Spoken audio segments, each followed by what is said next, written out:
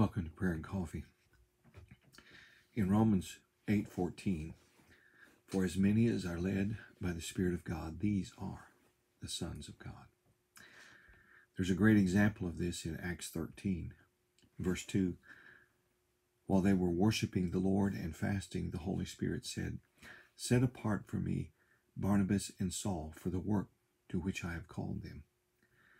Not only does the Lord have a plan, a life plan for you, He has a daily plan as well. Holy Spirit will lead you and sometimes convict you as you let Him guide you, guide us through each day. And this morning time in Scripture and prayer is a way to begin each day with Holy Spirit, imprinting His voice and uh, through a Word of God, through the word, through the Bible that we read.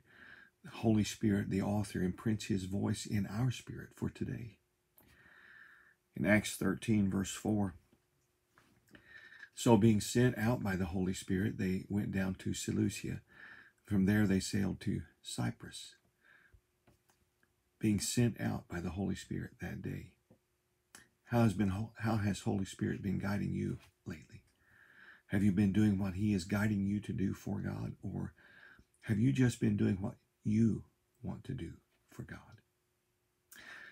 Psalm 127 verse 1 Unless the Lord builds the house, they labor in vain who build it. The implication of that verse is that we can build our own spiritual house, but are you letting God build his house? Not the one you want, the one he wants. His ecclesia. Through you, or are you busy building what you think he needs? Or maybe the way you think it ought to be. Acts 13, 52. And the disciples were filled with joy and the Holy Spirit. Then in Romans 14, verse 17, for this kingdom of God is not eating and drinking, but righteousness and peace and joy in the Holy Spirit. Holy Spirit is at the center of the life of God. He is the eternal breath of life for each day by which we are born again, made alive in Jesus Christ.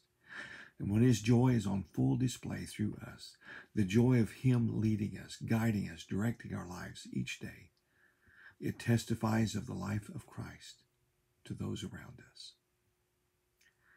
Let's pray. Father, lead me, guide me by your Holy Spirit.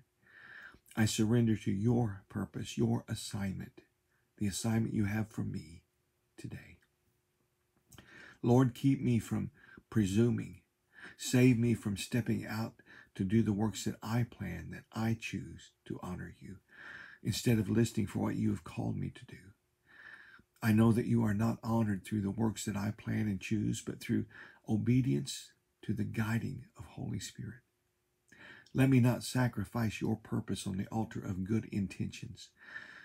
Send me out daily by Holy Spirit that each of my steps may be established in you.